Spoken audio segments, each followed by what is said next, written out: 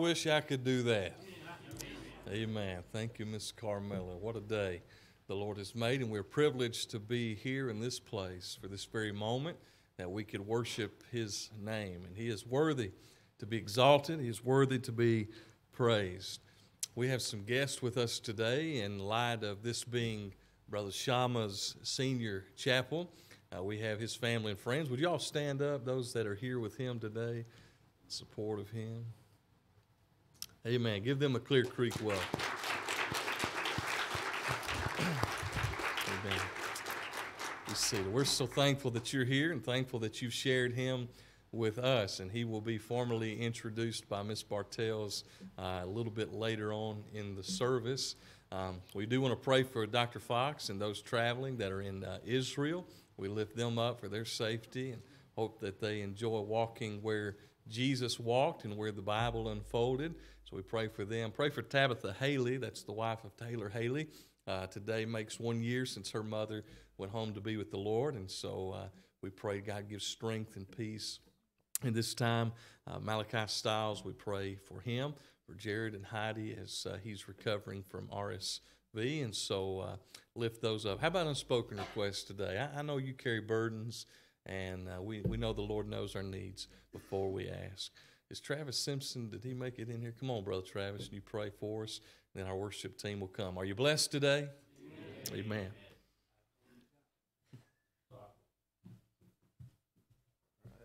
Let's go to the Lord in prayer, guys. Gracious Heavenly Father, we approach your throne this morning in the name of Jesus to thank you for waking us up from our sleep, seeing us safely through the night, and here at this pointed meeting. Father, I lift my brother Shamma up to you. It's been a delight knowing him since 2015 and watching this rite of passage here today. I pray, Lord, that you calm any uh, anxiety he may have as he uh, comes to present here before us. Father, I lift up everything that was unspoken, the things that are weighing our hearts. Lord, we cast those cares before your throne because we know, Lord, you care for us. And you, Lord, can bring good out of any tragedy, trial, or uh, temptation, Lord. You can work this to, to the good and to the sanctification of your people. Father, we thank you for loving us, for forgiving us of our sins, and assuring us of eternal life.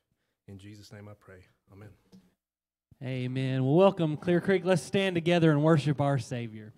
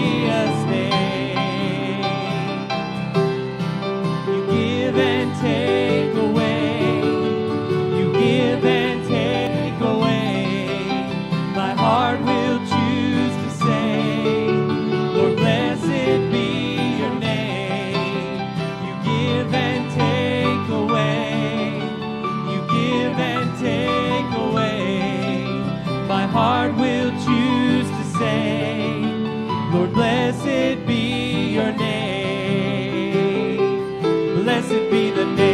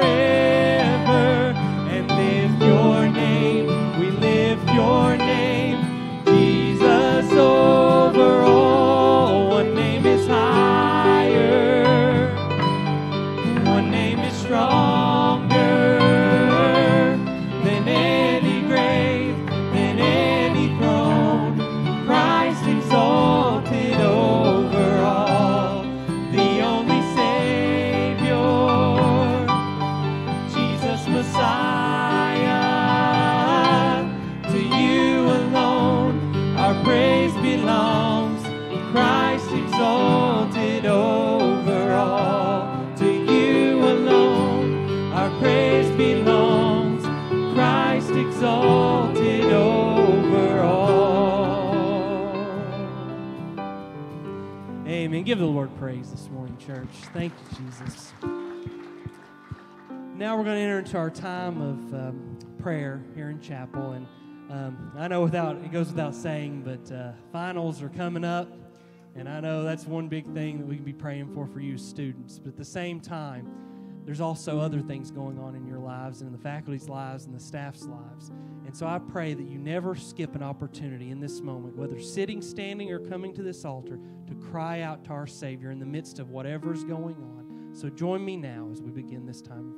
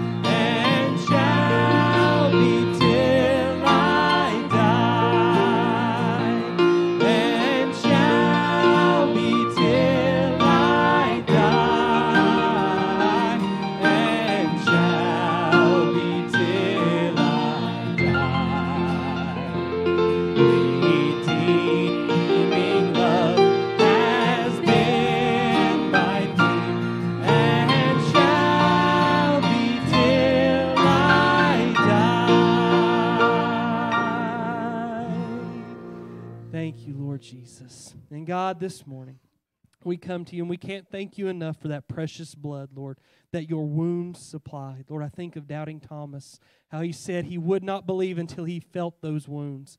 But then, God, when he did see you, Lord, he couldn't help but be overcome. God, help us even now, Lord. God, as we haven't even got to physically see those wounds, but one day we will. We will see the Lamb slain before the foundations of the earth. God, prepare our hearts for that moment of joy and worship, God. We will fall at your feet and scarce be able to say a word. Oh, God. But this morning, Lord, as we end this time of musical worship and we have worship through your word, through Brother Shamma, God, I pray you pour that anointing blessing upon him now, Lord. Help him know that he's declaring a message, Lord, that can bring others to that very point in their lives, Lord, at the foot of the cross, at the foot of our Savior, Jesus Christ. Bless him greatly, Lord, and lead, guide, and direct him as we go now. In Jesus' name we pray. Amen.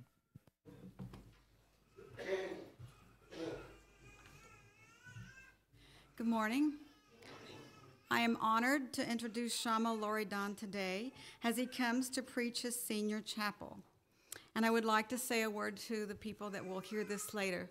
Bonjour et bienvenue to la famille et les amis de uh, Shamma. Um, C'est un jour merveilleux pour lui et on remercie le Seigneur pour tout le travail qu'il a fait ici à, à Clear Creek Baptist Bible College. Uh, remercie le Seigneur avec nous. So, my husband Richard and I had the honor to counsel and work with Shamma while he attended here. We had many a laugh and a few tears as he grew in his understanding of American English, the American culture, as they say in New York, the Word of God, and God's call on his heart.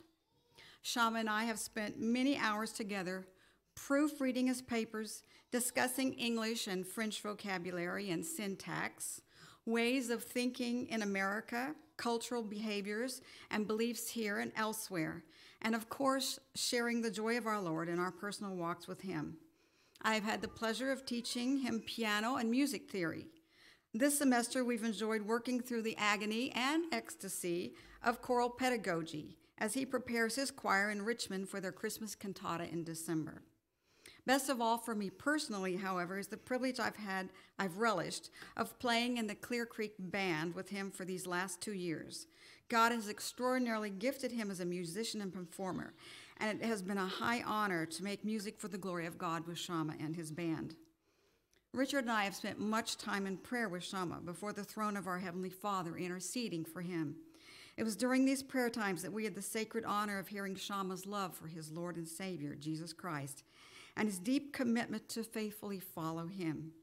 We also heard his concerns for his people of Haiti and praised God for using churches in the U.S. to bless them with tools so they could find work through the mission Shamma and his father uh, created, ODT. What is ODT again? Yes, one day at a time, which I should have remembered, but I forgot. We also prayed with him in his longing for a wife, and not just any wife, but the one the Lord had chosen for him, the one who would be his helpmate in ministry. And we saw the Lord answer that prayer so beautifully last year when Shamma married his lovely sweetheart, Tabitha. We thank God for sending him such a wonderful helpmeet. Now, in closing this prayer, Richard and I share with you, Shamma and Tabitha, from Philippians chapter 1. We thank our God every time we remember you. In all our prayers for both of you, Shamma and Tabitha, we always pray with joy because of your partnership in the gospel from the first day you came here until now. Being confident of this, that he who began a good work in you will carry it on to completion until the day of Christ Jesus. And it is right for us to feel this way about both of you, since we have you in our hearts. And whether we're in Ecuador teaching pastors, sorry, and new Christians, or elsewhere, defending and confirming the gospel, you share in God's grace with us. And God can testify how we love you both with the affection of Christ Jesus. And this is our prayer for you, Shaman Tabitha. that your love may abound more and more in knowledge and depth of insight, so that you, may be able to discern what is best and may be pure and blameless for the day of Christ, filled with the fruit of righteousness that comes through Jesus Christ, to the glory and praise of God our Father. Amen.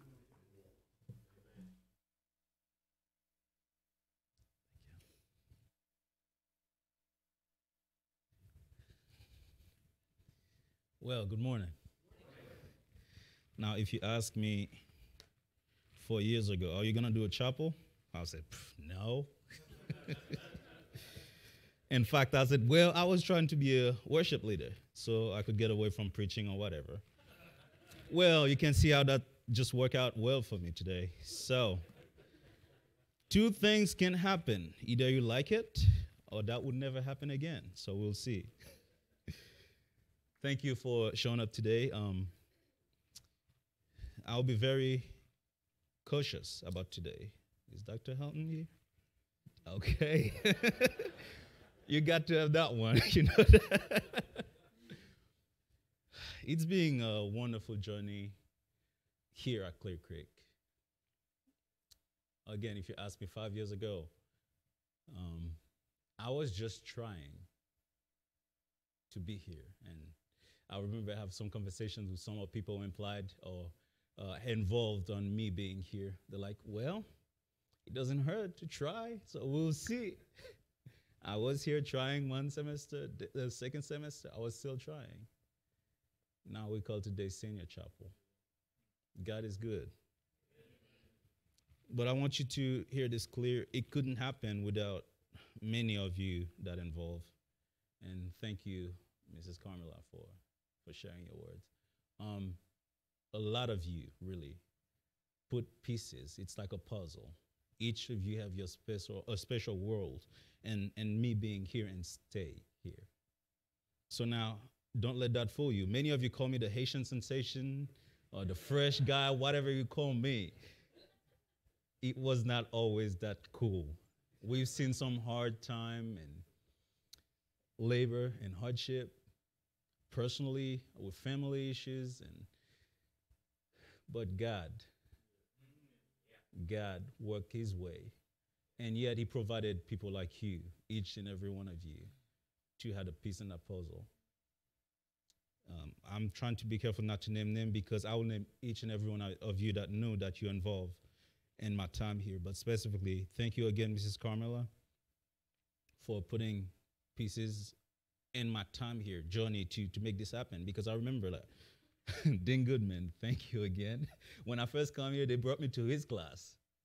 And I can tell in his face, he's like, you know what? This guy is like a fever, whatever he is, but I don't think he will come back or I don't think he will just do anything here. But yet, thank you for allowing me to start. Even when we, we look at the standards, if we put it like, like that, um, my English was very poor. God used you guys um, who were able to speak my language and I tell you that many of our papers were written in French, or I thought of it in French, or try to put it together. You can see how that worked. So um, thank you for being part of this, and um, the whole faculty staff who counseled us and pray with us. Thank you for being part of this. So today, I would like for you to open your Bible in Matthew 11, verse 28. And believe it or not, I wrote three sermons. And that one I started late last night and I ended it this morning. so um, when I knew chapel coming up and I pray, God, what you want me to share here? Um, my original plan was to share about a song of praise. That was the title. Uh, just put together my journey uh, from 2010 after the earthquake, being here today, what God has done in my life. Uh, a gentleman once told me, I asked, like, what would you name my life if it was a book? What would you name that? You know, from Haiti and a third world country, and now I'm here, God is doing all those things. What would you call it? He said, A song of praise. I'm like, yeah, a song of praise. So, um, because the ending is a happy story. When I share to you about what God has done in my whole life, it's not to tell you how sad the situation is. It's to tell you how great God is. And then um, I was trying again for, for give thanks to God because Thanksgiving season, and I've been told, you know what? All of you are probably gonna hear enough of preaching about Thanksgiving. So uh, I pray God, and then He brought me to Matthew 11, verse 28. Let me read it for you. He says, Come to me, all you who are weary and burdened, and I will give you rest. As simple as this, we'll try to see what God can unfold to this situation. Let me pray for you, real quick. Thank you, God, for your opportunity to bring me here to Clear Creek. It started all with a calling. You called me all the way from Haiti, and that path, that journey seems so different. It's like a rainbow, so many colors that He took down the road to be here today. But yet, it's amazing knowing that you planned the whole thing out and you knew what you were doing. And forgive me for being uh, doubting you in the past, and sometimes I struggled knowing that you got this. Like anybody else, I, I, I doubted, I, I got discouraged, I stumbled. But what you did, you just keep get me back up again. You made it all the way here. Thank you. Today you you teach me that as you're still in control and you promised that you will give me rest. Because the the only rest that we need today is found in you. I pray that you talk to your people today. Tell them what you want them to know about you. Because it's it's so easy for us to doubt. That's what we do, we human. Help us find the rest that from come from you. Thank you for Clear Creek that still stand on the Bible and educated people that will fear you because the worst thing I, I'm afraid today is say something that's not what you said in your Bible. I pray that you use me today and continue to pour this in the heart of those men and, and women who wants to grow in ministry and the ministry called them to do for you. And thank you again for each and every one who involved in this journey. In Jesus' name. Amen. So um there is a man. I told my wife on the road, I was gonna say a man from America, but I would choose to say a man from Africa so you can get the picture easy. so uh, the reason is if I said a man from America, it will be well, he's spoiled and there's so many ways. But a man of Africa, if you tell them, move from the road, the car will run you over. He's not going anywhere until he sees like he died and all that. So I figured that would work perfect. So there was a storm. There was a storm happening. there was a storm happening um, somewhere in Africa. So it was flooded the whole area really bad. But somehow that guy was uh, rich and he called himself a Christian. And he had a, a huge house mansion with stories, floors, and all that. So as the water rising, he was able to go higher and higher. So um, during the process, the city sent people out with boat and lifeguards, calling people on that megaphone, come out, come show me your hands, and I'll grab you, I'll send you a rope, and I'll rescue you. Is that well? My house is just tall enough. I'll go higher until it gets to the top floor. Well, the water just kept rising. A guy from an helicopter, helicopter from, and just drop a rope. He's like, grab that and we'll pull you up. He's like, well, I have a top floor. It's just not even up there yet. I'll be just fine. The water will stop. Well, the guy's gone. The water didn't stop. It keeps going up and up all the way to the ceiling. Knee deep, the helicopter come back. They're like, now we will drop you a basket. Just get in there and we'll pull you up. Simple. He's like, no. I mean, the water just about to stop. Well, it didn't stop.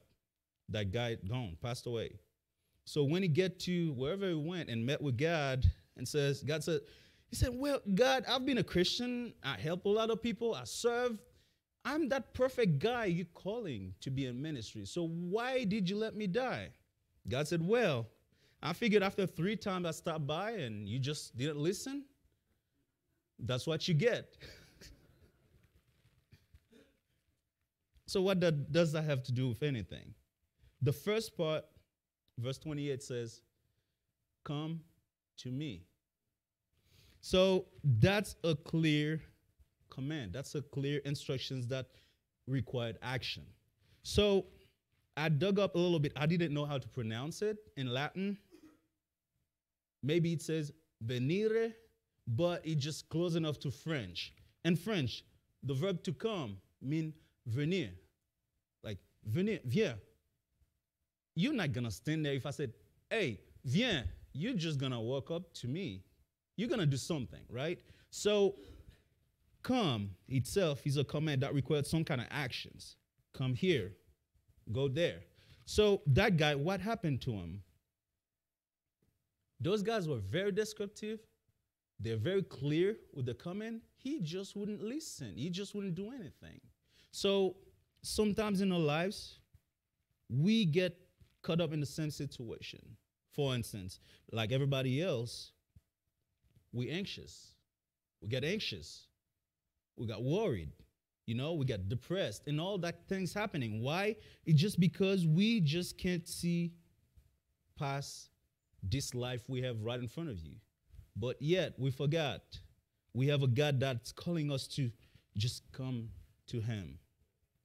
So now, when we look about what does that mean for us, when you come to God, what's going to happen? Uh, Philippians uh, 4, verse 6 to 7, if you read it, He just give us clear, clear details of things not to be doing. He says, "Do not be anxious about anything, but in everything, in every situation, just pray, and God will what will bless you. God will accept your request, and He will bless you. So, what's the problem with this picture? That has to do with coming or the actions.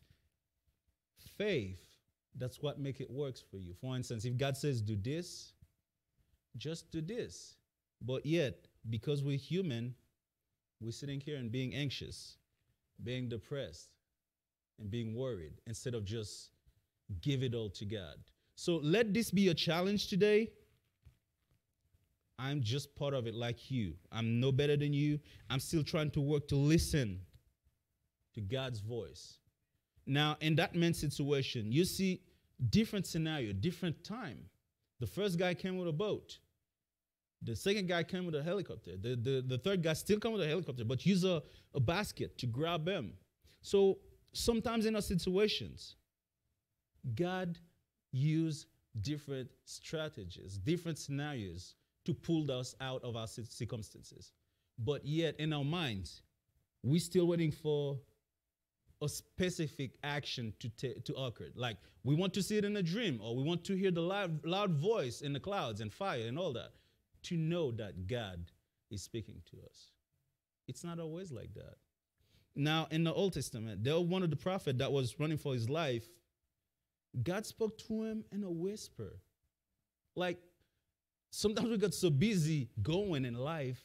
If God spoke in a whisper, would we catch it? Would we hear it? So, brothers and sisters, I want you to be attentive for, for, for what God is doing in your life and how He wants to serve you, how He wants to save you, how He wants to rescue you. All you have to do is just respond and obey. Whichever command He placed before you, just obey, and then He will make the rest. Because we serve a God who cares for us. We serve a God who changed everything. Now, it says prayer, prayer changes things. But yet, it's a prayer that from, that's come from a humble heart. When we pray, things not working. Why? Sometimes we just pray with the wrong intent. We need to be reverent. Like when we pray, we need to pray with supplications, and God will make things happen our own way. So as you you want to be reminded today, keep your eyes open for the clear instructions for God's command and he will deliver you. So if you get on going, and um, the same verse 28, he says, All you who are weary and burdened,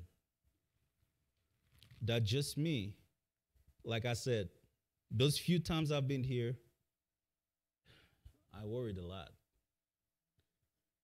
I burdened a lot just because that's what I can do best. And I've been guilty of it. But yet, weary itself, by definitions, if we look, I take Webster, it would say weary is exhausted and, fre- and, and strength and endurance or in freshness.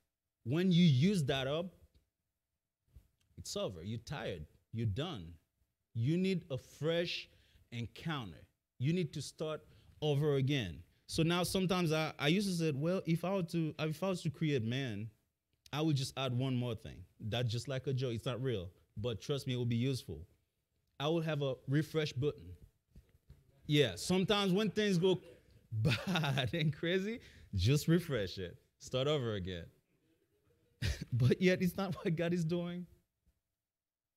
He is kindly calling us to come back to Him, to come back to Him. And it's not a new thing to see people start worrying about circumstances and situation instead of trusting God. Even in the Old Testament, the Israelites, as they were going in their journey to go to the promised land, somewhere down the road, what were they doing? They said, Well, we hungry, we need food. God provided manna. They said, We need meat. God provided quail. So guess what they did? Complain, well, is that the only food that's out there? Do you know how bad that is sometimes when we let our circumstance or ourselves or selfishness go before God's promises on our lives? That's what they were doing. And some of them even said, you know what? It was even better in Egypt. Wow. Egypt, we thinking about slavery, oppression. Who doesn't want their freedom? They couldn't even see that. Their own selfishness wanted more and more and more. Instead of seeing God blessings, they were sitting here complaining. We should remember that God is calling us to come with our worries, our brokenhearted, and He will give us rest. In Psalm 138, it says, Though I walk in the midst of trouble, you preserve my life. You stretch out your hand against the anger of my foes. With your right hand, you serve me. So that's the God we're talking about. But that's the God you serving. That's the God who's leading you, who's giving you all those instructions. Or yet, it's still hard to just obey and trust them. Was there one last time or ever once God forsaken you? No, He hasn't. Now, let me just jump real quick with a little bit of my story. So, Haiti is a third world country, meaning where there's not no, necessi- no necessities available. For instance, the basic things for life Twitter, phone, fridge, everything you can think of, right? I'm talking about real necessities like food, education, and a clean atmosphere for you to live. Everything like real necessities, they're not there. So that's where I was born. That's where I'm from. That's where I grew up. So now, like many of my peers from Haiti, it's so common to grow up with that lesser esteem as a person. You can't see any further. You grew up knowing, you know what? It is what it is. Um, I was born. If I made it to high school, and then I have to be in the street to try to find a way, and sometimes there's no way. So if you keep up with the, the news lately, the Haitians just really revolting in the country, protesting about um, about all kind of impunity and all kind of those bad things happening to them. They've been oppressed, yet they just take the street and try to revolt. Many of those people who were able to, if they were able to make it to high school, they can afford to go to college. So those guys were people more, more vulnerable because now they anything. I mean, you just stop by, give them 10 bucks. They're going to kill somebody for that 10 bucks. Why? They are starving. That's what I mean when I say when I mean necessities, like food. They're hungry. The hunger is so great, it blinds them, and they do, they are doing anything to survive. I mean, anything. So that's common from people where I'm from to have that mindset. You know what? Life is what it is. I was just gonna be eating and just dying, and I guess because they can't see any further. Talking about leadership? No. Talking about a faithful servant? No. Talking about a call from God? No. They're not doing it because that's not, not that's not what everybody's doing. So God called me from that same place and take me places. And man, I'm telling you, it's being a journey. From La Gonâve, it's a little island inside of the big island, Haiti, to Port-au-Prince, where I experienced a lot of things and see God's grace and favors, where I was able to, to go to those shows and contests. I was a performer. And then the earthquake shows up. I lost everything. I mean, everything. After the earthquake, I spent, my family and I, we spent almost two years in makeshift tents, like plastics. Typically, uh, I went to camping with a family, the Williamsons. I was just trying to find the right reason. Why do we camp? Why? because after the earthquake, I lived for two years in the camp. Like literally, put sticks and plastic. That was my house for two years. I was just trying to find a reason. So that's where I, I spent two years in my life. But yet, throughout those times, God just favored us. He just blesses us. God sent tons of tons of wonderful people always to, to just spoke life into us and just keep us up and positive. Now I can tell you, during my time here, there are many counts of people I knew, like young, like me, who were trying to, to do great things, and they were trying, but they took a different route, and it was a bad ending. So now sometimes I ask, why, God? Why am I here? Why are you taking those this route with me? Where are you taking me? And then it's easier, and I found out it doesn't matter where is it taking me. I just need to follow and obey his calling. So God used ways and put us back up again after the earthquake, and he provides many, many, many wonders. And that implies me being here today. So now it's two sides of lives. I really love being who I was in Haiti. I love being on the stage. I love performing, traveling the whole country. I loved it. I was going to be a rock star. But yet, God has a different plan. Like the other day, my dad and I was just riding together and talking. You know, God has funny ways like working with people he calls. And he's trying to figure out what life would have been if I was still on the other side of this journey. We can't think what it was. We try to think any kind of things, but one thing for sure we know I would be no Christian anymore. Because all those things that was provided for me, it's just worldly. They want me to be cool. They want me to look like that. They want me to dress this and they want me to sing that. But yet, God has His plan. So now, being here today, many, many wonderful things happen. Being here from that place in Haiti, at the same thing, people would kill too to be here. it's sad, but it's so it's that bad. So people really, really looking for a way out. So God just provided this for me. And he works crazy ways if I said that. Because, you know, sometimes my dad and I, what would it be like if I were, if we were trying to save money to be here today, to go to school and all that? We also think, oh well, that was still we're still gonna be working on saving money. Because we're just making a little. But yet God had the plan to bring us here today. And down that road, I've been married and met my wonderful wife and a huge and huge family. It's priceless. The promise is simple, and the promise found here in the verse, at least for me. The end of the verse said, And I will give you rest. So, rest implies freedom. So, what would we say about freedom? Um, the dictionary will said freedom is rest is take freedom from something from the activities you are doing, from the work you are doing, or if you're being oppressed, you're free. You resting from that oppression, being oppressed, you resting.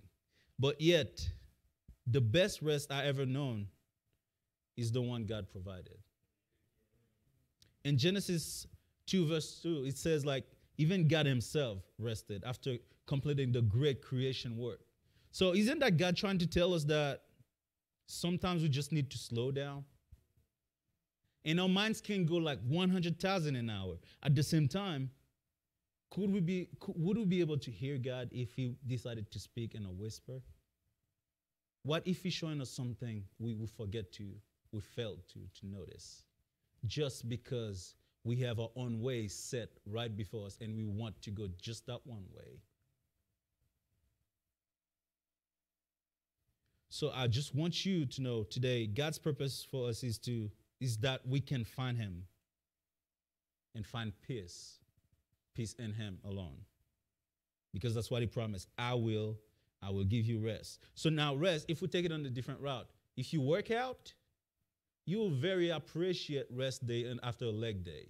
Like you know what that means. You just do that press bends and you just you just put that press, you just want to sit down. You just want to lay down. So if you can feel it in this kind of atmosphere, that's how, how more than likely it is for you to try to grasp what it means to find rest in God. Is it is where you just bring to him all your burden, all your worries, and you just relax.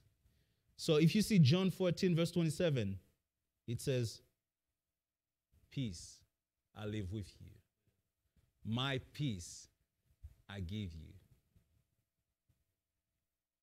So, have you found somebody who's trying to find peace on things before? Like you have money, but you're trying to find more money. Why? Because you just want to be safe. At the same time, they're trying to get more and more and more and more. Peace is come from God alone. It says that I give you peace. Do not let your heart be troubled. Do not be afraid. There's an illustration of, I didn't create that. I just found that sounds really cool. And I choose to tell you today about my, my version of it. It's the birth of a baby giraffe. So, giraffe is very tall and awkward looking, you know, even to tilt down the neck is a lot of work. So, as tall as a giraffe is, when they have to give birth to their babies, can you imagine that babies just falling off 10 to 8 feet from up down? Just fall off. So after that baby just come out of the womb, they have to lay down there like just for probably a few minutes and not moving and try to figure out what's going on. It just fall. But the mother lovingly lower her neck to smush the baby giraffe or kind of nudge it around to see how things going. Is the baby awake or is the baby alive or whatnot? So as that nice things, I bet if you are looking, you're like, oh, that's really nice. But your great surprise, out of nowhere, she kicked the baby real hard. Now, after kicking the baby, you'll see it just flying up the air, trying to just, what's going on? It's like when you're sleeping, somebody smash you with just a cold water in the face. You just got here, try to wake up. But yet, the baby just born and too weak to even stand on his own leg. Well, you can get the picture. Smoosh again and kick even harder. What's going on, Mama Giraffe? The baby surprisingly tried to make it a little higher, but still stumbling and fall. Same thing again. And even a bigger kick. Finally stumbling, the baby giraffe got on, on the feet and just stand up and try to walk around and try to go to, to its mom and try to figure out what's going on. But now, imagine that you were just around and watching. I bet you you want to ask the same question I have. But why does the mom just kick the baby like this? Why? Is there another way, or what's the meaning of this? Because looking that, I'm like, you're hurting the thing. Why? But what you don't know, or what I don't know, is that the mama giraffe lives in a in a jungle.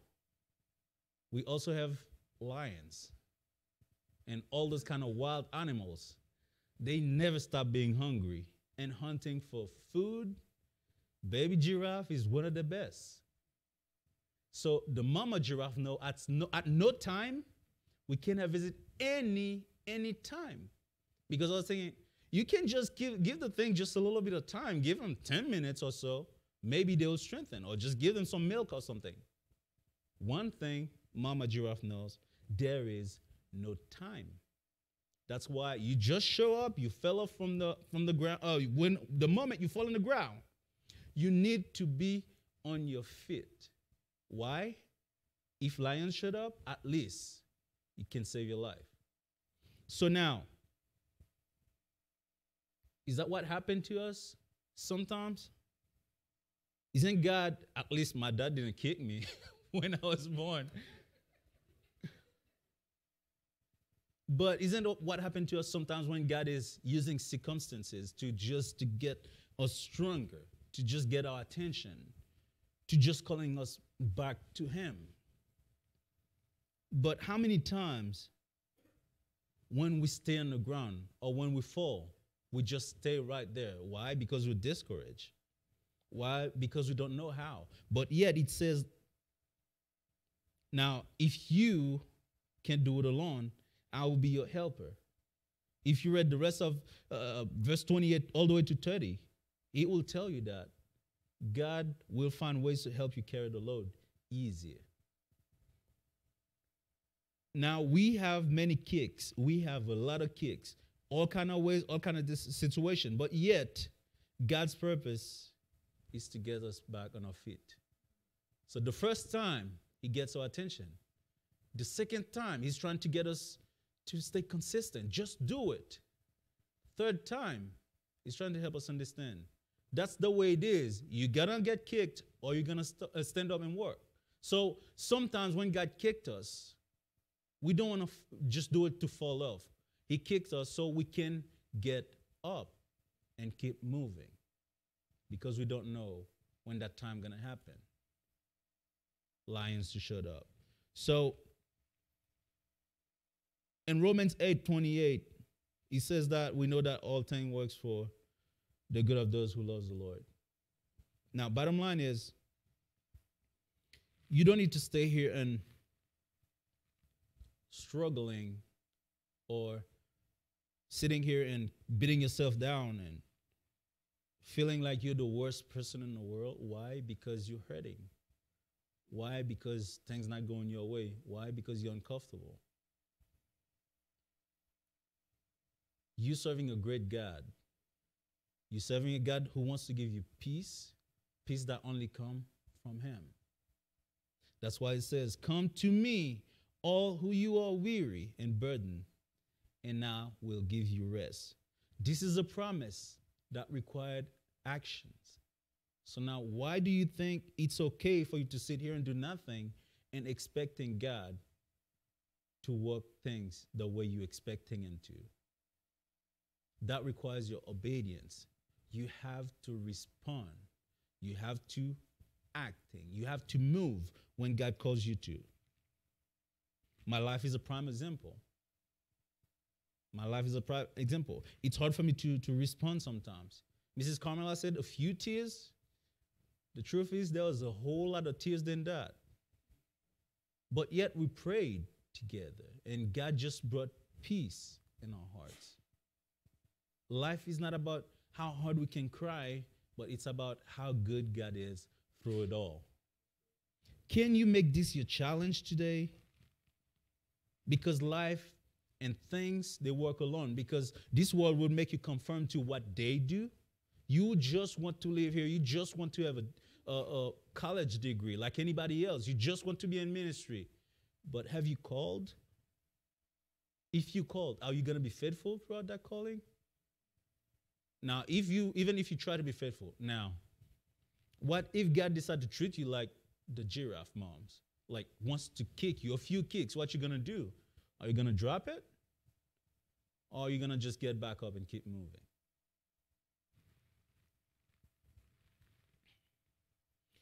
Now, if you're struggling, if you're worrying, if you're a burden, Psalm 100, Psalm 147, verse 3 says, He heals the brokenhearted and binds up their wounds. Isn't that amazing knowing that the same God that put us through those labors is the one who's going to smoosh us, like just heal us again and get us back up on our feet and just be the company we need? That's the side of the story we need to know. That's the start, side of the journey we need to embrace. Life problems is a result of sin, but yet God's still faithful. It's still great. We should stop doing by leveling God promises versus life circumstances. They don't go together. My prayer for you, brothers and sisters. What if you start today to ask God's calling in your life? Ask Him to strengthen you a little more. Or maybe ask Him for a few kicks. I promise you, after going back to it again and again and again and again, because sometimes on the road, my life, I got hit so bad. I start comparing kicks to other kicks. I'm like, oh, that one was a little bit better. Oh, that one is real. Now I don't have time to worry about that one. Um, let me wait for the next one. What if that God's way to make us just get back up and get ready for the call He has in our lives? I suggest that you're more attentive and be obedient to this call. Pray with me. Thank you, God, for being our God. Thank you for being amazing. Thank you for helping us understand the few kicks in lives is just to make us stronger because the devil is not sleeping anytime and it's always in a hunt and hungry and starving. Try to find somebody or something to devour. But yet, thank you, God, for just kicking up to get us back and ready to move. And it's amazing even more because you're still here with us along the way. It's amazing when you called me the first time, I couldn't see it because part of me, I'm like, you know what? It's not going to happen because I can't speak the language. Literally, I couldn't speak the language, but yet you had the plan to provide the ways to make it happen. How many kicks I had down the road? I messed up many times. I've done a lot of things that's not right in your eyes, but yet you favor me. Thank you for your grace and mercy. And it's amazing knowing that's the grace and mercies you have for each and every one of us today. We just have to respond and listen to your calling. Thank you for speaking to us today. I pray that you continue to encourage us to stay and remain faithful to you and you alone instead of worrying, depressed, or struggling, but knowing that we'll find rest in you and you alone. I pray that you continue to bless our day. In Jesus' name, amen.